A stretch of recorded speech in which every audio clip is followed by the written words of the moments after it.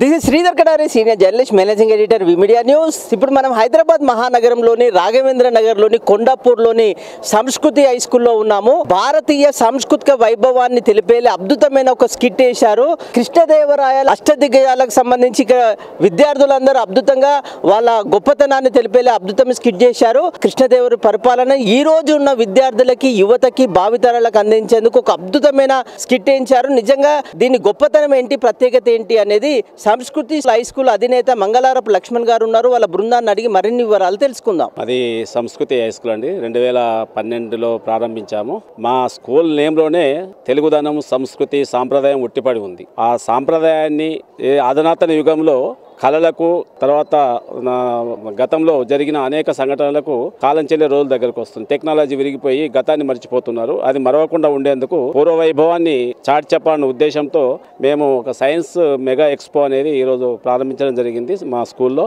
దీనిలో చాలా సాంప్రదాయబద్ధ కార్యక్రమాలే కాకుండా భూమి ఎప్పుడు పుట్టిందో ఇప్పటి వరకు జరిగిన పరిణామాలు ఏవో అన్ని కూలంకషంగా చూపిస్తూనే అందులో భాగంగా కృష్ణదేవరాయల అష్టదిక్ పాలకులు వాళ్ళు ఏం చేశారు? కృష్ణదేవరాయలు దేశ భాషలందు తెలుగు లెస్స అని అముక్త మాల్యద అనే గ్రంథాన్ని రచించింది కాబట్టి అలాంటి వారిని మనం జ్ఞాపకం చేసుకోవాల్సిన అవసరం ఉంది కాబట్టి మా ప్రిన్సిపల్ గారు జ్యోతిర్మయ్య గారు అదేవిధంగా మా తెలుగు విభాగం బాలమణి గారు వీళ్ళందరూ కలిసి మా సబ్జెక్టులో ఏదో ఒక సబ్జెక్ట్ తెలుగు గురించి దాని గురించి కృష్ణదేవరాయలను మేము ఒకసారి మననం చేసుకోవాల్సిన అవసరం ఉంది కాబట్టి ఈ కాన్సెప్ట్ తీసుకురావడం జరిగింది. చాలా బాగుంది. ఆనాటి కాలంలో జరిగిన అనేకమైన అప్పుడు కూడా పూర్వం కూడా సైంటిఫిక్గా అప్పుడు రాజులు కానీ అప్పుడు ఏలిన రాజ్యాలు కానీ అప్పుడు వాళ్ళు అనుసరించిన విధానాలు ఇప్పటికీ కొనసాగుతూనే ఉన్నాయి. కాకతీయ రాణి రు- రుద్రమాదేవి ఆ రోజు చెరువులు దవ్వి బావులు దవ్వి జనానికి నీళ్ళు లేకుండా ఆకలి దప్పులతో అలమటిస్తున్నప్పుడు ఊరూర చెరువు దవ్వింది కాకతీయ సామ్రాజ్యం.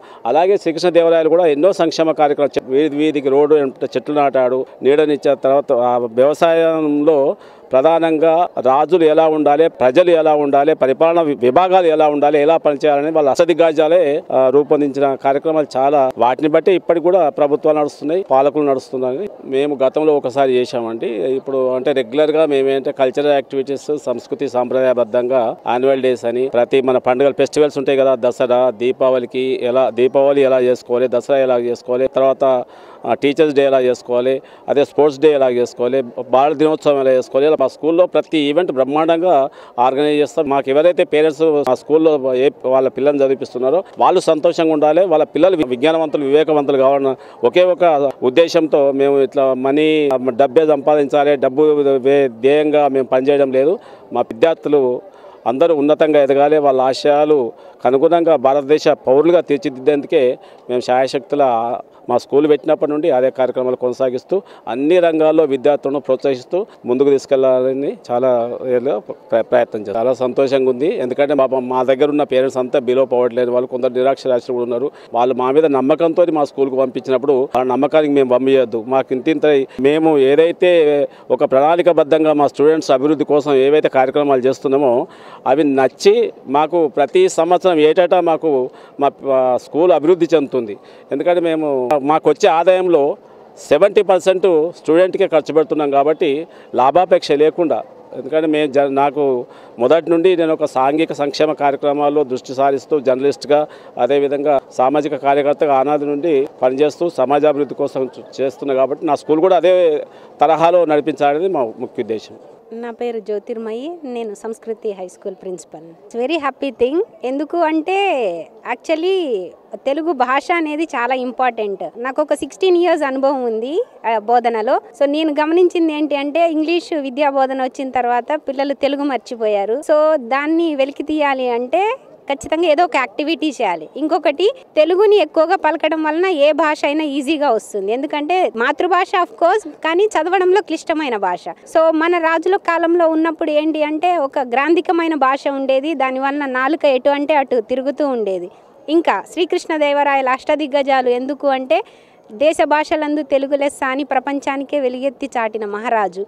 ఆయన సభలో ఉన్నటువంటి ఎనిమిది మహాకవులు వివిధ రకాల రచనలతోటి మన ప్రపంచానికి చాలా రకాల నీతి బోధన చేశారు. కాబట్టి పిల్లలకి తన మాతృభాష ద్వారా మంచి జ్ఞానాన్ని ఇవ్వాలి మన దేశ సంస్కృతి తెలియాలన్న ఉద్దేశంతో ఈ రోజు ఈ సభని ఏర్పాటు చేయడం జరిగింది. చాలా సంతోషంగా ఉంది సార్. స్టార్ట్ చేసిన డే నుంచి వాళ్ళు రిహార్సల్ చేస్తూ ఉండి వాళ్ళు మాట్లాడే విధానము వాళ్ళు దానిలో లీనమైపోయి కరెక్ట్గా ఆ రోజుల్లో ఆ కవులు ఎలా ఉండేవాళ్ళు రాజు ఎలా ఉండేవాళ్ళు అలా పరకాయ ప్రవేశం చేసి ప్రదర్శిస్తుంటే చాలా సంతోషం. ఉంది.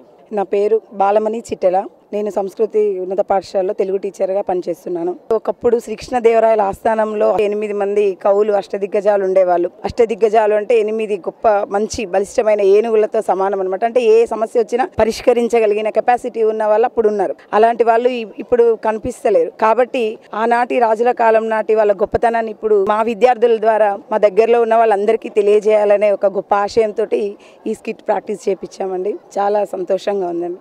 చాలా హ్యాపీగా నా పేరు ఆర్యను. నేను సంస్కృతి స్కూల్లో నైన్త్ క్లాస్లో చదువుతున్నాను.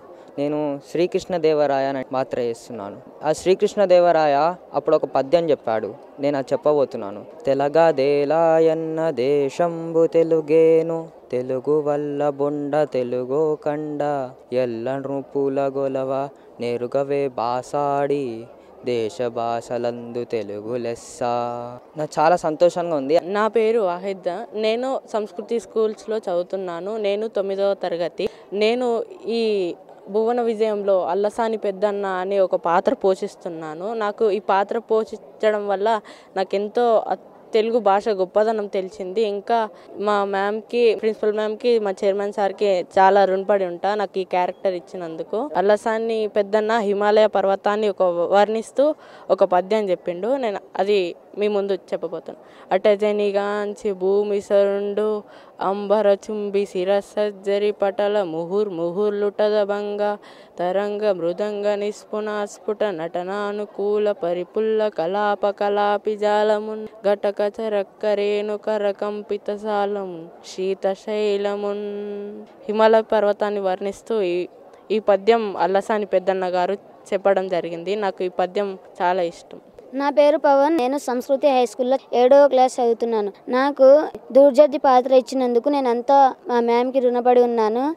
నాకు ప్రిన్సిపల్ వీళ్ళందరూ ఫస్ట్ టైం నాకు ఈ- వేషాన్ని చేసినందుకు నాకు ఎంతో ఆనందంగా ఉంది. నాకు అప్పాజీ గారు ఇచ్చిన సమస్య కన్న తల్లికి అన్నం మేరకు అంటే కన్న తల్లికి అన్నం పెట్టకు అనే క్రూరమైన సమస్యని ఇచ్చారు.